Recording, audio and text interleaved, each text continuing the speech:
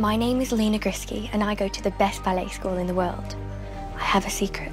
I'm a time traveller from 1905, and my boyfriend Henri is doing everything he can to get me home.